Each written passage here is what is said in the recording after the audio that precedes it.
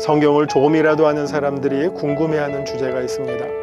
왜 하나님은 선악과를 만들어 놓으시고 그것을 먹지 말라고 하셔서 인간으로 하여금 타락하게 하시고 죽게 하셨냐고 따집니다. 그러면서 도대체 선악과의 정체가 무엇인지 궁금해합니다. 여기서 선악과와 생명나무는 인간이 넘을 수 없는 하나님의 고유한 영역을 상징합니다. 선악과는 하나님이 곧 심판주시라는 것을 그리고 생명나무는 하나님만이 생명을 주관하시는 창조주 하나님이시라는 사실을 나타냅니다. 사탄이 하와를 미혹할 때 했던 말이 내가 하나님처럼 되리라 였던 것입니다. 하나님과 인간의 경계를 무너뜨리는 말이었죠. 하나님의 피조물인 인간이 이것을 먹지 말라는 하나님의 명령에 불순종함으로 받게 되는 운명이 심판과 생명나무로부터의 배제, 곧 죽음이라는 운명이었던 것입니다.